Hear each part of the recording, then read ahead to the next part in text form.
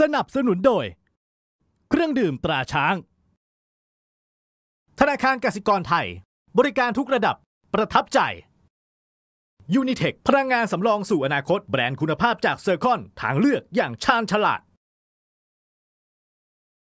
สวัสดีครับ ต้อนรับสู่รายการสยามสปอร์ตเจาะประเด็น special นะครับ วันนี้วันจันทร์ที่ 5 ธันวาคม 2565 อยู่กับเรา 2 คนครับ ผมปีเตอร์โบ๊ทเจาะลึกเชลซีครับรายการตัวหน้าล่าข่าวแมนยูครับ หัวข้อที่เราจะมาคุยกันวันนี้นะครับ เอาใจเด็กผีกันหน่อยดีกว่า มาดูกันเรื่องเกี่ยวกับภารกิจ หาตัวแทนโรนัลโดอืมนะครับว่าเฮ้ยจะเป็นใครดีทุกคนทราบกันดีอยู่แล้วว่าโรนัลโดกับแมนเชสเตอร์ยูไนเต็ดเนี่ยยกเลิกสัญญากันเรียบร้อยนะครับซึ่งแมนยูจำเป็นต้องมองหากองหน้าคนใหม่เพราะว่าที่มีอยู่อย่างปัจจุบันเช่นอองโตนี่มาร์ซิยาล มีอาการบาดเจ็บค่อนข้างบ่อย ถูกต้อง มาดูกันว่าคนที่น่าสนใจจะเป็นใครที่แมนยูพอจะมองหาในตลาดเดือนมกราคมได้นะครับ โดยเราจะอ้างอิงข้อมูลจากสื่อดัง The Athletic UK นั่นเองครับรอฟังกันได้เลยนะครับ แต่ว่าก่อนอื่นขอบคุณผู้สนับสนุนใจดีของเราก่อนเลยครับ เริ่มจากนี่เลย น้ำแร่ธรรมชาติตราช้างนั่นเองครับ ครับ มากกว่ากีฬาคือน้ำใจนักกีฬานะครับ จากบริษัทไทยเบเวอร์เรจจำกัดมหาชนผู้ผลิต และจัดจำหน่ายน้ำแร่ธรรมชาติตราช้างขวดนี้นะครับอืมโชว์ก่อนเลย วันนี้ขอคำว่าโรนัลโดโรนัลโดเออไปซะแล้ว it's over แล้วนะครับนะอะ แล้วก็ฝากทางด้านของธนาคารกสิกรไทยด้วยครับ บริการทุกระดับประทับใจ อย่าลืมครัโหลบดแอป K Plus มาใช้งานบนมือถือกันนะครับรวมไปถึงที่นี่ด้วยครับ Unitech พลังงานสำรองสู่อนาคตแบรนด์คุณภาพจาก Zircon ทางเลือกอย่างชาญฉลาดครับ เครื่องสำรองไฟ Unitech รุ่น HyperMax Gaming UPS ตัวเทพสำหรับคอเกม เพื่อความมันที่ไม่มีสะดุดนะครับระบบสำรองไฟคุณภาพสูง เทคโนโลยีรูปคลื่นบริสุทธิ์ pure sine wave เพื่อการปกป้องอย่างสมบูรณ์แบบ ป้องกันไฟดับไฟตกไฟเกินไฟกระชาก ได้อย่างเต็มประสิทธิภาพครับ เครื่องสำรองไฟแบรนด์ Unitech จัดจำหน่ายโดย Ingram Micro หาซื้อได้แล้วนะครับ ที่ร้าน Banana ทั่วประเทศเลย หรือว่าทางออนไลน์ก็มี JB ออนไลน์ครับ Lazada Shopee Shop at 24 Unitech the power backup to the future ครับ ครับผม หัวข้อแรกที่เราจะคุยกันยังไม่ใช่การซื้อนะ แต่ ให้มองของที่มีก่อนอ่าเออลองดูก่อนสิว่าคนไหนในแมนยูในแต่ตอนนี้ที่เล่นกองหน้าได้ครับนะครับซึ่งก็คงหนีไม่พ้นมาคัสแรชฟอร์ดในตำแหน่งกองหน้าตัวเป้า ถ้าเอาแบบเป็นไปได้สูงสุดเลยครับ ไม่ต้องเสียเงินในตลาดรอบนี้ก็คือใช้ของที่มีไปก่อน อันนี้คือความเห็นของ The Athletic UK เลยนะ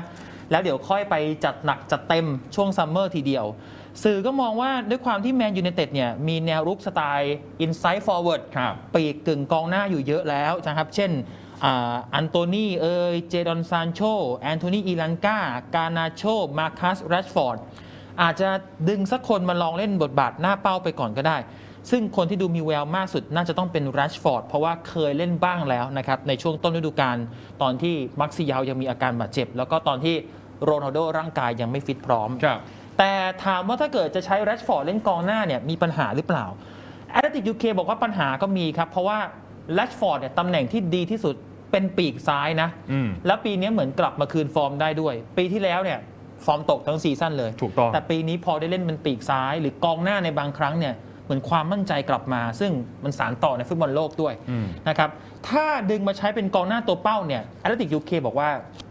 อาจจะเป็นการลดทอนศักยภาพนักเตะแบบหลีกเลี่ยงไม่ได้ ครับ ให้ดูจากในกราฟตัวนี้ครับจะเห็นว่าแรชฟอร์ดเนี่ยอันตรายมาก ๆ เมื่อเล่นเป็นปีกซ้าย ถ้านับตั้งแต่ปี 2019 เนี่ยแรชฟอร์ดมีค่าเฉลี่ยยิงประตูจากตำแหน่งนี้ได้ถึง 0.49 ประตูต่อ 90 นาที ครับ คิดง่ายๆ 2 นัดมีลูกหนึ่งนี่นะครับ ก็คือ 2 นัดมีลูกหนึ่งถือเป็นตัวสถิติที่แบบสุดยอดมากเลก็ยนะ ยิงค่อนข้างเยอะ เยอะมากนะครับ ครับ แต่ในทางกลับกันครับท่านผู้ชม พอขยับไปเล่นตัวกลางเนี่ย ตัวเลขลดลงมาครึ่งหนึ่งเลยครับ เหลือแค่ 0.24 ประตูต่อ 90 นาที คิดง่าย ๆ 4 นัด ถึงจะยิงได้ลูกหนึ่งนานมาก แต่เล่นปีกซ้ายขอแค่ 2 นัด ยิงได้ลูกหนึ่ง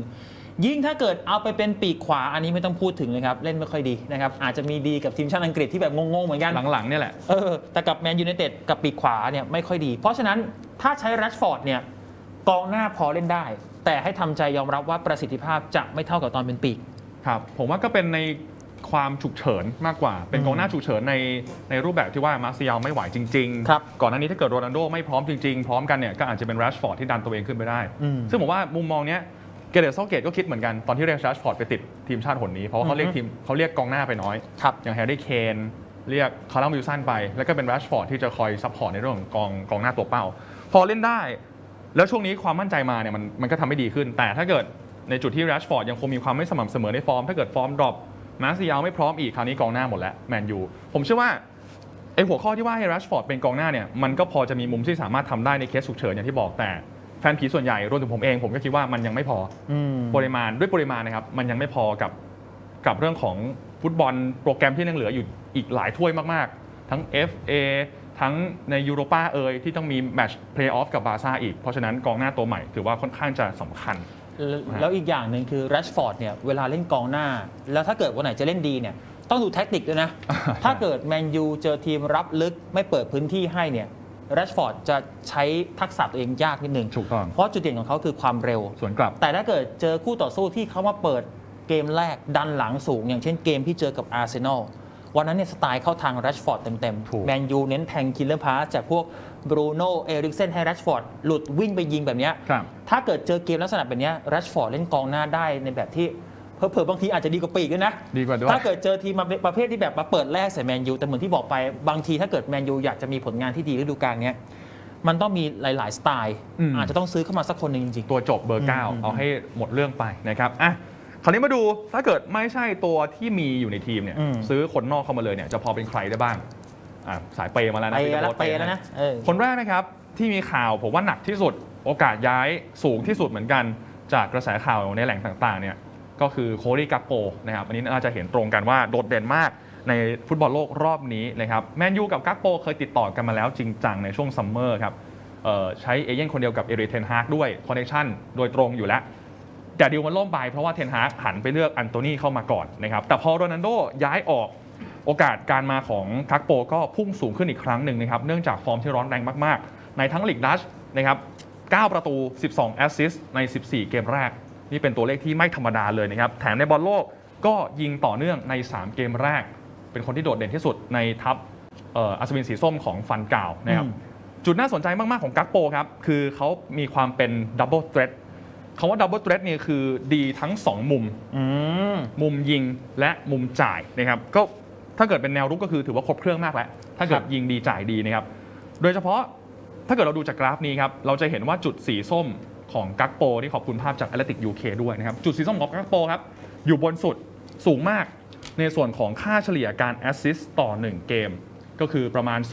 0.75 ลูกต่อเกม โอ้โห เยอะนะ เยอะมากครับ กับตำแหน่งปีกของเขานะครับ แล้วก็จะมีการเยื้องๆไปทางขวานิดนึง ในด้านของการยิงต่อเกมด้วยอะแอสซิสต์ 0.75 ลูกต่อเกม ถ้าเกิดเป็นการยิงเนี่ย 0.65 ลูกต่อเกม อันนี้คือเยอะกว่าที่แรชฟอร์ดมีเมื่อกี้อีกนะครับโอ้โหนะนะก็ถือว่าฟอร์มโดดเด่นมากในประเทศบ้านเกิด แต่ว่าประเด็นหลักที่ทุกคนคงจะเห็นตรงกันครับ นี่กับปีกซ้ายอีกแล้ว ปีกซ้ายธรรมชาติเลยเลยครับ เป็นปีกตัวยิงถนัดเท้าขวากลัวว่าถ้าเกิดเอามาเล่นเป็นกองหน้าเนี่ยมันจะไม่ดีเท่าปีกซ้ายหรือเปล่า แล้วคือการมาย้ายมาเล่นในพรีเมียร์ลีกอังกฤษที่แน่นอนว่าเป็นลีกที่ยากขึ้น ความอืมเข้มข้นสูงขึ้นจับตามองมากขึ้น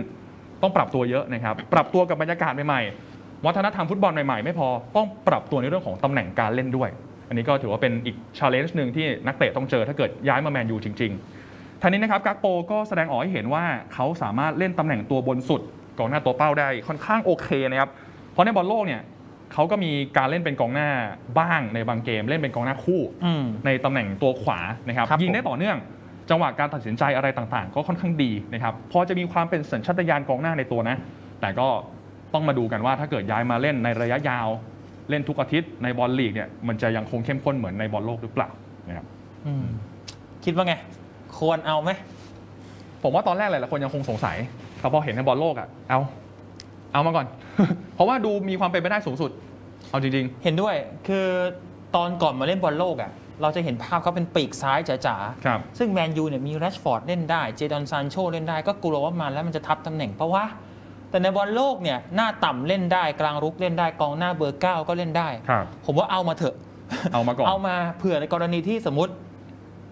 แรชฟอร์ดต้องโดนจับไปเล่นกองหน้าจริงอืมๆก็เอากักโปยืนซ้ายไปใช่เพราะซานโชฟอร์มตกอยู่ครับหรือถ้าเกิดแรชฟอร์ดเล่นปีกซ้ายดีกว่า แล้วกักโปเล่นกองหน้าได้ ก็ยืนกองหน้าไปเลย ก็สับกันไปสองคนนี้เออใช่ แต่ว่าราคาครับไม่ถูกมีต่ำๆเนี่ย PSV ตั้งเอาไว้ก็ 50 ล้านยูโรก็ขั้นมีตัวต่ำนะเลขประมาณนั้นขั้นใช่ต่ำโหดนะมาครักบครับอะ คนต่อไปครับโอ้โหคนนี้คุณเนี่ยมาชอบตัวที่ผมชอบอยู่เหมือนกันนะอืมราฟาเอล เลอานะฮะ ปีกของ AC มิลานนะครับ คนนี้เป็นหนึ่งในปีกที่หลายทีมจับตามองมากที่สุด ด้วยการเป็นดาวซัลโวของมิลานเมื่อซีซั่นก่อน แล้วก็ได้ MVP กัลโช่เซเรียอาด้วยนะโคตรดีนะครับฤดูกาลก่อนเนี่ย 11 ประตู 10 แอสซิสต์คือไม่ได้ยิงเยอะเวอร์ ไม่ได้ส่งเยอะเวอร์ แต่ทำได้ดีทั้งคู่ครับจริง ๆ เป็น double threat เหมือนกันนะ double threat ใช่เออนะครับหนึ่งในจุดที่แกร่งที่สุดคือการเลี้ยงบอล พาบอลเข้ามาในเขตอันตรายคู่แข่งได้ตลอดนะครับด้วยการเลี้ยงผ่านเฉลี่ย 4.9 ครั้งต่อเกม เยอะมากนะครับอืมอันนี้คือเลี้ยงเฉลี่ยนะถือเป็นส่วนหนึ่งใน 15%ของผู้เล่นตัวท็อปจากศึกกัลโช่เซเรียอาด้วยครับมาดูกราฟตัวต่อไปหน่อยครับเขาจะเห็นว่าสัดส่วนการมีส่วนกับเกมรุกเนี่ยนอกจาก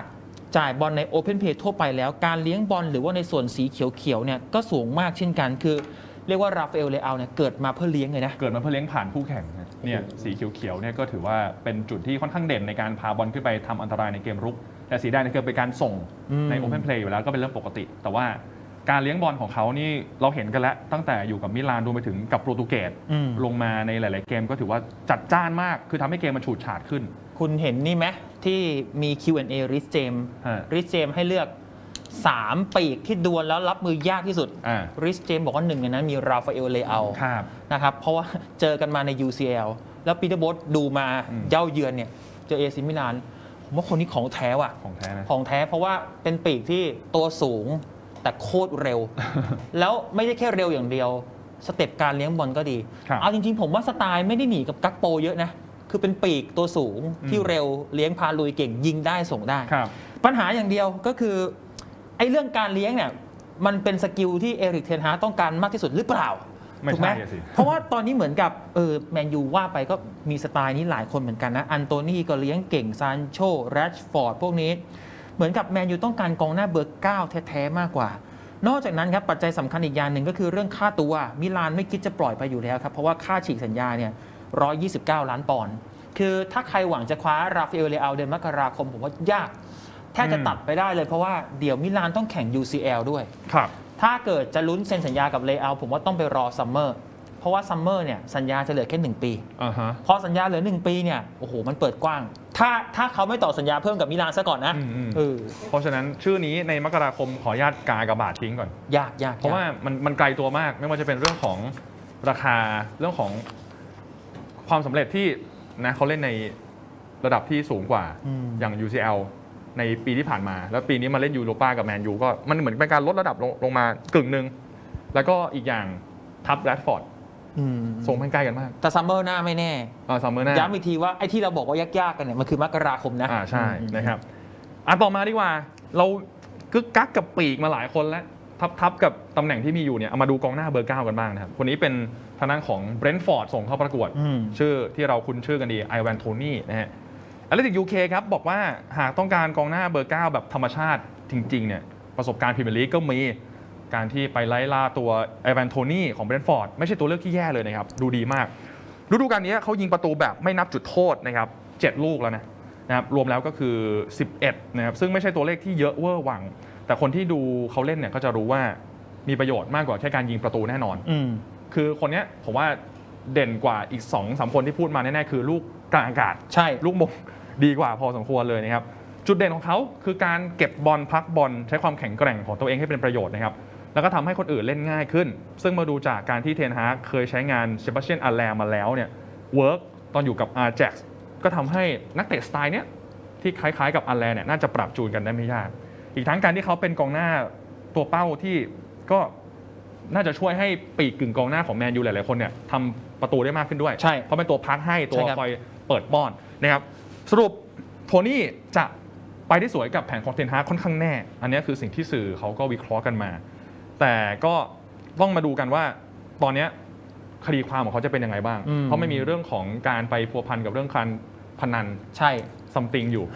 นะฮะก็อาจจะเป็นอีกจุดหนึ่งที่ทำให้แมนยูต้องพิจารณาหนักในการดึงตัวเข้ามา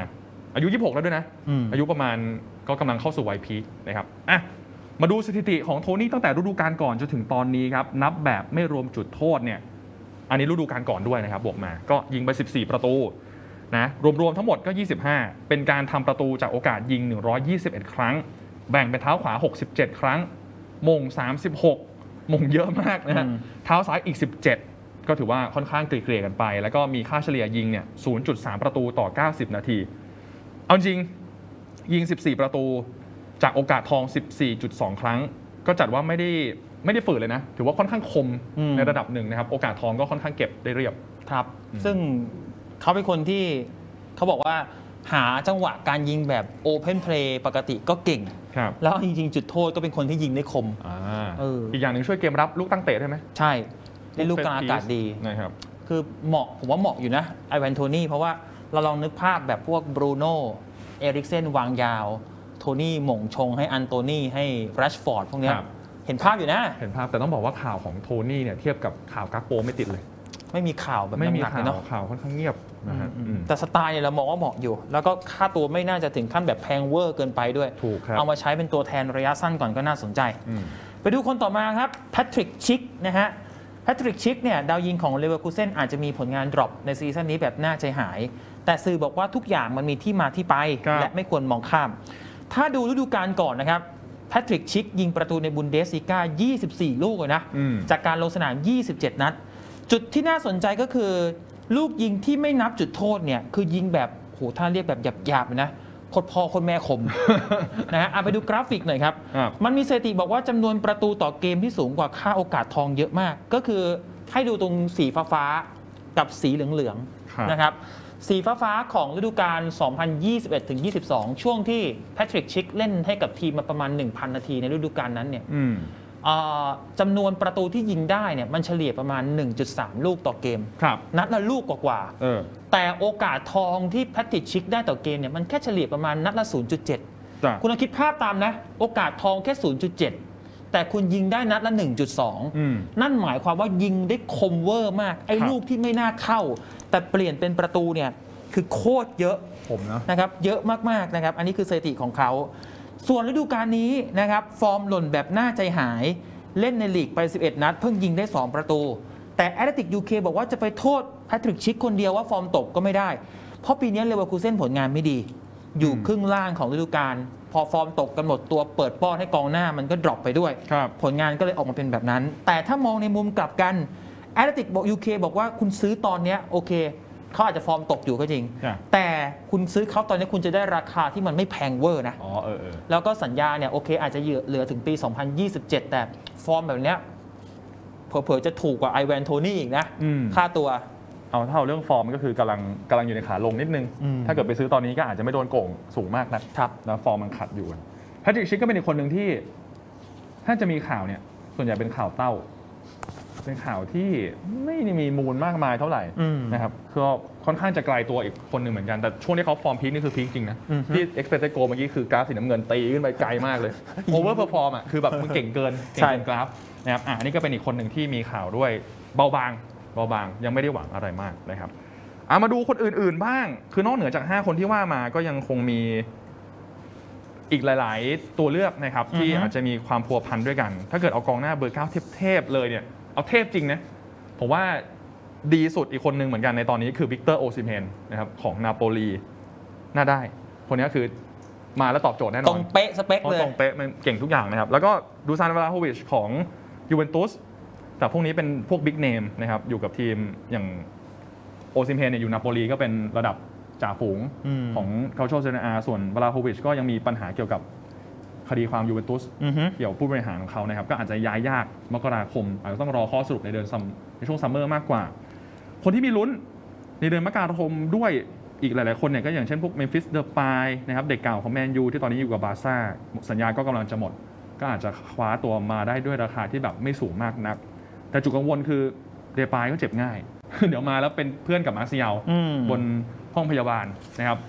คนอื่นน่าสนใจก็มีเอริกมักซิมชูโปโมติงนะฮะดาวยิงตัวเก่าของบาเยิร์นโอ้คนนี้ก็ยิงไปค่อนข้างเยอะนะครับ10 ประตูจาก 900 นาทีโอ้โหก็เฉลี่ยนัดละลูกใช่ถ้าเกิดได้ลงสนาม หรือว่าจะเป็นเบนจามินเซสโกไหม ดาวยิงดาวรุ่งอนาคตไกลของ Red Bull Salzburg แต่ดีลนี้เป็นไปไม่ได้ครับ เพราะแกไปได้ข้อสรุปกับไลป์ซิกแล้ว ก็ต้องไปอยู่ไลป์ซิกก่อนอะ เป็นอย่างต่ำ ถ้าจะเอาก็คือต้องไปเกทับไลป์ซิกก็คือซื้อต่อจากไลป์ซิกอีกทีนึงถูกว่าต้อง เอ้ย ไม่เป็นไร เองเพิ่งซื้อไปผมขอซื้อต่อทันทีเลยได้ไหม อือืมซึ่งมันก็ยากไง ยากครับนะทางปฏิบัติมันแทบจะเป็นไปไม่ได้ ส่วนอีกคนหนึ่งที่ผมเสริมให้ก็คือมีข่าววันนี้เลยก็คือชูเอาเฟลิกซ์อ่า ข่าวมาจากเดอะไทมส์นะครับ ก็บอกว่าแอตมาดริดพร้อมจะปล่อย แต่ก็จะปล่อยในราคาที่แตะ100 ล้านยูโร อันนี้เขา confirm นะ ว่าเฟลิกซ์อยากย้ายจริงอืมๆเพราะว่ามีปัญหากับดีเอโกซิมิโอเน่ครับฤดูกาลนี้ไม่ได้การันตีตัวจริง เฟลิกซ์เหมือนกับก็ยังรักแอตมาดริดรักแฟนบอลแต่ไม่ถูกกับโค้ชตอนเนี้ยโอกาสย้ายมีแต่เหมือนที่บอกไปว่าแอตมาดริดเขาไปซื้อมาแพงนะ ค่าฉีกสัญญาถ้าผมจะไม่ผิด 120 ล้านยูโรโดยประมาณเขาคงไม่ขายแบบ 40 50 ถูกถูกๆถูกไหมครับผมว่าเขาก็ต้องแบบพยายามโก่งค่าตัวให้มันแบบเกือบเกือบร้อยล้านยูโรอะอืมซึ่งการจะไปทุ่มเรทประมาณนั้นในเดือนมกราคมเนี่ยผมว่าโอกาสก็ยังยากยาก ท้ายที่สุดอะถามความเห็นกันตัวหน้า ไม่เอาของที่ตัวเองมีนะ เอาอ่าของคนอ่าอื่นเนี่ย คิดว่าลงเลยที่ใครเอิ่มดูจากเปอร์เซ็นต์ผมว่ากักโปใกล้สุด แต่ถามความอยากได้อะอยากได้โอซิเมนผมซึ่ว่างจบยากมากเลยผมว่าจบมาถึงในตัวเป็นตัวจริงแทนมาร์เซียลด้วยซ้ำแต่ยากครับ ไม่น่าจะเกิดขึ้น ก็กักโปแหละ ถ้าเกิดดูจากกระแสข่าวต่างๆ การติดต่อกันเอาไว้แล้ว ซึ่งณตอนนี้ก็ยังติดต่อกันอยู่ ระหว่างตัวสโมสรกับตัวเอเย่นแต่ว่าระหว่างสโมสรกันเองยังไม่ได้มีการตกลงพูดคุยกันอือฮึเพราะฉะนั้นก็ต้องรออีกสักพักหนึ่งแล้วนักเตะก็กำลังโฟกัสอยู่กับทีมชาติในบอลโลกด้วยนะครับก็อาจจะยังไม่ได้ข้อสรุปในเร็วๆนี้ แต่คาดว่ากักโปก็เป็นหนึ่งในคนที่น่าจะมีโอกาสค่อนข้างสูงเลยแหละในการย้ายมานะฮะอืมก็ขอให้ปิดได้สักคนหนึ่งแล้วกันไม่งั้นไม่พอใช้ ผมก็คิดเหมือนผู้กันว่ากักโปมันเปอร์เซ็นต์เยอะสุดจริงๆ เพราะข่าวมันโหมกระแสมากใช่ว่าเป็นคนนี้แต่ถ้าเกิดเอาแบบ ตัดเรื่องข่าวออกไป เอาในมุมความเหมาะสมเนี่ยแล้วเอาที่แบบมันมีโอกาสซื้อได้นะ ผมมองไปที่ไอแวนโทนี่อืมรู้สึกว่าเราดูเทนฮากใช้อัลแลร์มาก็เล่นได้อะเป็นอืม target man และเป็น target man ประเภทแบบโยนแล้วชงต่อให้คนอื่นอีกทีนึงอะแล้วต้นฤดูกาลโทนี่เจอแมนยูมา ก็เล่นดีครับมี assist ให้เพื่อนได้ด้วยโอ้ถูกไหม Brentford ตอนนั้นเลยโดเอนเลอยผมว่าผมว่าน่าสนใจแล้วค่าตัวผมว่าไม่น่าจะแพงเวอร์ครับซื้อมาก่อน ถ้าใช้ดีก็ใช้ยาวๆได้ ถ้าใช้แล้วรู้สึกว่ายังคลิกไม่สุดเนี่ยด้วยค่าตัวที่ไม่ได้แพงเวอร์เนี่ยมันอาจจะพอมีงบประมาณไปซื้อซัมเมอร์อีกสักคนอืมคือผมว่ามกรากองหน้าหนึ่งแล้วซัมเมอร์กองหน้าอีกหนึ่งผมว่าก็ไม่ได้เยอะเกินไปนะ เพราะคุณเสียโรนัลโดไปแล้วไงใช่ถูกไหมให้นับง่ายๆ ก็คือสมมุติถ้าเกิดมกราหนึ่งซัมเมอร์หนึ่งรวมกับมาร์กซิยาลที่มีอยู่ 3 คนเอง ผมว่ากำลังเป็นตัวเลขที่แบบพอเหมาะพอเจาะกับแผนหน้าเป้าอยู่เหมือนกันนะฮะเออตอนนี้เพดานค่าเหนื่อยเหลือด้วย เหลือแบบเหลือแบบเบิ่มเบิ่มเบิ่มห้าแสนก็จัดมาครับสักตัวหนึ่งโอเค ประมาณนี้ครับพีเตอร์บอสๆใช่ครับ ก็รอดูกันว่าแมนยูจะเซ็นใครนะครับก่อนจากไปเราขอบคุณผู้สนับสนุนใจดีของเราอีกครั้งก็คือน้ำแร่ธรรมชาติตราช้างนั่นเองครับคอบอลคอช้างคอเดียวกันขอบคุณน้ำแร่ธรรมชาติตราช้างนะครับขอบคุณทางด้านของธนาคารกสิกรไทยครับบริการทุกระดับประทับใจหรือว่า K-Bank ที่มาพร้อมกับบริการ K Plus แอปพลิเคชันการเงินบนมือถือนะครับขอบคุณยูนิเทคครับพลังงานสำรองสู่อนาคตแบรนด์คุณภาพจากเซอร์คอนทางเลือกอย่างชาญฉลาด เครื่องสำรองไฟยูนิเทคนะครับรุ่น HyperMax Gaming UPS ตัวเทพสำหรับคอเกมเพื่อความมันที่ไม่มีสะดุดครับ ระบบสำรองไฟคุณภาพสูง เทคโนโลยีรูปคลื่นบริสุทธิ์ pure sine wave เพื่อการปกป้องอย่างสมบูรณ์แบบ ป้องกันไฟดับ ไฟตก ไฟเกิน ไฟกระชากได้อย่างเต็มประสิทธิภาพ เครื่องสำรองไฟแบรนด์ Unitech นะครับจัดจำหน่ายโดย Ingram Micro ครับหาซื้อได้แล้วที่ร้าน BaNANA ทั่วประเทศเลยหรือว่าทางออนไลน์ JB ออนไลน์นะครับ Lazada Shopee Shop at 24 Unitech the power backup to the future ครับ ครับผมยังไงก็ฝากกดไลค์กดแชร์กด subscribe เป็นกำลังใจให้กับพวกเราด้วยนะครับเข้มข้นทุกบทวิเคราะห์เพราะเกมฟุตบอลไม่ได้จบแค่ในสนามช่วงนี้ปีเตอร์โบทและกันตัวหน้า ขอตัวลาไปก่อนสวัสดีครับสวัสดีครับ สนับสนุนโดย เครื่องดื่มตราช้าง ธนาคารกสิกรไทย บริการทุกระดับประทับใจ Unitech พลังงานสำรองสู่อนาคตแบรนด์คุณภาพจากเซอร์คอนทางเลือกอย่างชาญฉลาด